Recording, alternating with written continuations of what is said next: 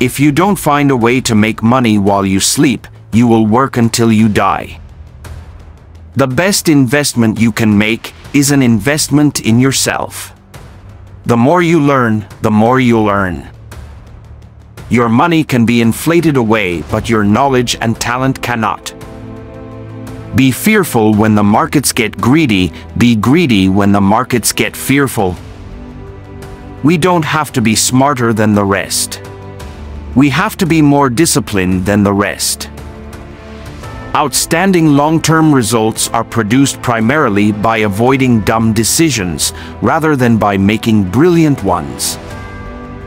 Do not save what is left after spending, but spend what is left after saving.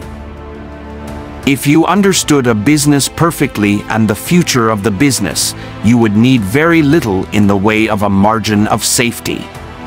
So, the more vulnerable the business is, the larger margin of safety you'd need. The most important quality for an investor is temperament, not intellect. All there is to investing is picking good stocks at good times and staying with them as long as they remain good companies. It's good to learn from your mistakes. It's better to learn from other people's mistakes. The trick is, when there is nothing to do, do nothing. I've often felt there might be more to be gained by studying business failures than business successes. If you cannot control your emotions, you cannot control your money. Games are won by players who focus on the playing field, not by those whose eyes are glued to the scoreboard. It's a good idea to review past mistakes before committing new ones. The value of a business is the cash it's going to produce in the future. Asking for financial advice from a financial planner is like asking a barber if you need a haircut. Rule number one, never lose money. Rule number two, never forget rule number one. The difference between successful people and really successful people is that really successful people say no to almost everything. It takes 20 years to build a reputation and 5 minutes to ruin it. If you think about that, you'll do things differently. When they get their ego involved, people do things they shouldn't do. Risk comes from not knowing what you're doing. Honesty is a very expensive gift, don't expect it from cheap people. The only question is whether you're going to do it today or tomorrow. If you keep saying you're going to do it tomorrow, you'll never do it. You have to get on it today. You've got to keep control of your time, and you can't unless you say no. You can't let people set your agenda in life. Never test the depth of river with both the feet. Trust is like the air we breathe. When it's present, nobody really notices. When it's absent, everybody notices. If you don't feel comfortable owning something for 10 years, then don't own it for 10 minutes. Diversification may preserve wealth, but concentration builds wealth by companies with strong histories of profitability and with a dominant business franchise. Never depend on single income. Make investment to create a second source. Basically, the single most important decision in evaluating a business is pricing power. Time is the friend of the wonderful business. It's the enemy of the lousy business. Do something that if you had all the money in the world, you'd still be doing it. Only when the tide goes out do you discover who's been swimming naked. The key to success is emotional stability. The key to investing is not assessing how much an industry is going to affect society or how much it will grow, but rather determining the competitive advantage of any given company and, above all, the durability of that advantage. If you buy things you do not need, soon you will have to sell things you need. People will always try to stop you from doing the right thing if it is unconventional. Failure comes from ego, greed, envy, fear, imitation. I have success not because I am smart, but because I am rational. Knowing the edge of your competency is important. If you think you know more than you do, you will get in trouble. Whatever you like to do, make it a hobby and whatever the world likes to do, make it a business. Successful investing takes time, discipline, and patience. No matter how great the talent or effort, some things just take time. When investing, pessimism is your friend, euphoria the enemy. A great investment opportunity occurs when a marvelous business encounters a one-time huge but solvable problem. If you're an investor, you're looking on what the asset is going to do. If you're a speculator, you're commonly focusing on what the price of the object is going to do, and that's not our game. You need to fill your mind with various competing thoughts and decide which makes sense. Always associate yourself with people who are better than you. Investment students need only two well-taught courses, how to value a business and how to think about market prices. It's much easier to stay out of trouble now than to get out of trouble later. Look for companies with high profit margins. Everybody's got a different circle of competence. The important thing is not how big the circle is. The important thing is staying inside the circle. Much success can be attributed to inactivity. Most investors cannot resist the temptation to constantly buy and sell. I make plenty of mistakes and I'll make plenty more mistakes too. That's part of the game. You've just got to make sure that the right things overcome the wrong ones. To be successful, you should concentrate on the world of companies, not arcane accounting mathematics. You can't make a good deal with a bad person. It is more important to say a no to an opportunity than to say yes. Only when you combine sound intellect with emotional discipline do you get rational behavior. Focus on your customers and lead your people as though their lives depend on your success. It is better to point out your own mistakes than have somebody else do it. Most people get interested in stocks when everyone else is. The time to get interested is when no one else is. You can't buy what is popular and do well. It's far better to buy a wonderful company at a fair price than a fair company at a wonderful price. Wide diversification is only required when investors do not understand what they are doing. Knowing what to leave out is just as important as knowing what to focus on. Focus alone is not enough. Putting in the time to commit is also crucial to achieve success. Sound investing can make you very wealthy if you're not in too big a hurry. A bull market is like sex. It feels best just before it ends. The dumbest reason in the world to buy a stock is because it's going up. If you've got the power to raise prices without losing business to a competitor, you've got a very good business. It's not that I want money. It's the fun of making money and watching it grow. I try to buy stock in businesses that are so wonderful that an idiot can run them. Because sooner or later, one will. Don't risk what is important to you to get what is not important to you. We don't get paid for activity just for being right.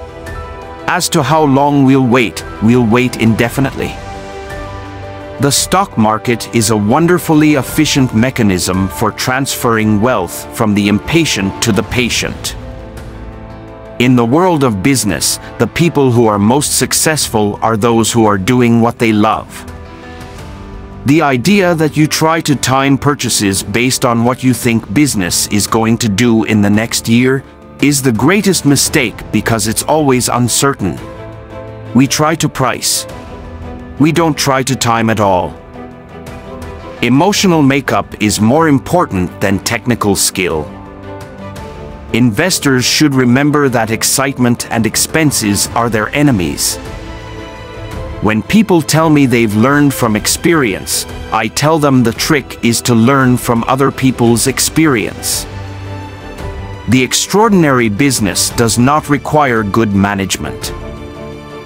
Our goal is to find an outstanding business at a sensible price, not a mediocre business at a bargain price. We don't read other people's opinions. We want to get the facts and then think. I read annual reports of the company I'm looking at and I read the annual reports of the competitors. That is the main source of material. The smartest side to take in a bidding war is the losing side. Ignore the stock market, ignore the economy, and buy a business you understand. Never invest in a business you can't understand. Look at market fluctuations as your friend rather than your enemy, profit from folly rather than participate in it. We like a business with enduring competitive advantages that is run by able and owner-oriented people. When these attributes exist, and when we can make purchases at sensible prices, it is hard to go wrong. If the reason for doing something is that everyone else is doing it, it's not a good enough reason. I think the worst mistake you can make in stocks is to buy or sell based on current headlines. To invest successfully what's needed is a sound intellectual framework for making decisions, and the ability to keep emotions from corroding that framework. The future is never clear, you pay a very high price in the stock market for a cheery consensus. Uncertainty actually is the friend of the buyer of long-term values. You only have to do a very few things right in your life so long as you don't do too many things wrong. The best thing that happens to us is when a great company gets into temporary trouble. If a business does well, the stock eventually follows. We make investment decisions based on our evaluation of the most profitable combination of probabilities. Always invest for the long term. There's no use running if you're on the wrong road. The stock market is there only as a reference point to see if anybody is offering to do anything foolish. When we invest in stocks, we invest in businesses. If you expect to continue to purchase stocks throughout your life, you should welcome price declines as a way to add stocks more cheaply to your portfolio. With a wonderful business, you can figure out what will happen, you can't figure out when it will happen. If you're right about what, you don't have to worry about when. A lot of great fortunes in the world have been made by owning a single wonderful business. If you understand the business, you don't need to own very many of them. Unless you are willing to put in the effort to learn accounting, learn how to read and interpret financial statements, else you really shouldn't select stocks yourself. You shouldn't own common stocks if a 50% decrease in their value in a short period of time would cause you acute distress. As an investor with small capital, one should prefer businesses that have high returns on capital and that require little incremental investment to grow. Risk comes from not knowing what you are doing, so wide diversification is only required when investors are ignorant. The greatest enemies of the equity investor are expenses and emotions. Only buy something that you'd be perfectly happy to hold if the market shut down for 10 years. Mr. Market is kind of a drunken psycho. Some days he gets very enthused, some days he gets very depressed. And when he get really enthused you sell to him, and if he gets depressed, you buy from him. Cash combined with courage in a time of crisis is priceless. We have usually made our best purchases when apprehensions about some macro event were at a peak. Fear is the foe of the fattest, but the friend of the fundamentalist. I've made money over the years by buying into good companies run by good people at attractive prices. And I don't try and make it out of buying into the market at one point and selling at another point. A market downturn doesn't bother us. For us and our long-term investors, it is an opportunity to increase our ownership of great companies with great management at good prices. Do what you would do for free, having passion for what you do is the most important thing. You're neither right nor wrong because other people agree with you. You're right because your facts are right and your reasoning is right. If you're doing something you love, you're more likely to put your all into it, and that generally equates to making money. What you really want to do in investments is figure out what's important and knowable. If it's unimportant or unknowable you forget about it. The most important quality for an investor is temperament, not intellect. You need a temperament that neither derives great pleasure from being with the crowd or against the crowd. We all make mistakes. If you can't make mistakes, you can't make decisions. Shares are not mere pieces of paper. They represent part ownership of a business. So, when contemplating an investment, think like a prospective owner. To win, the first thing you have to do is not lose. Intrinsic value can be defined simply it is the discounted value of the cash that can be taken out of a business during its remaining life. The critical investment factor is determining the intrinsic value of a business and paying a fair or bargain price. The ideal business is one that earns very high returns on capital and that keeps using lots of capital at those high returns. The three most important words in investing margin of safety. We will continue to ignore political and economic forecasts, which are an expensive distraction for many investors and businessmen. Risk can be greatly reduced by concentrating on only a few holdings. What we learn from history is that people don't learn from history. You really don't need leverage in this world much. If you're smart, you're going to make a lot of money without borrowing. Good profits simply are not inconsistent with good behavior. The best business returns are usually achieved by companies that are doing something quite similar today to what they were doing 5 or 10 years ago. The market may ignore business success for a while, but eventually will confirm it. I do not like to invest in companies that have too much debt. With debt, particularly long-term debt, increases in interest rates can drastically affect company profits and make future cash flows less predictable. Buy into a company because you want to own it, not because you want the stock to go up. What we really want to do is buy businesses that we would be happy to own forever. Managers and investors alike must understand that accounting numbers are the beginning, not the end, of business valuation. I never attempt to make money on the stock market. I buy on the assumption that they could close the market the next day and not reopen it for five years. Opportunities come in frequently. When it rains gold, put out the bucket, not the thimble. Price is what you pay. Value is what you get.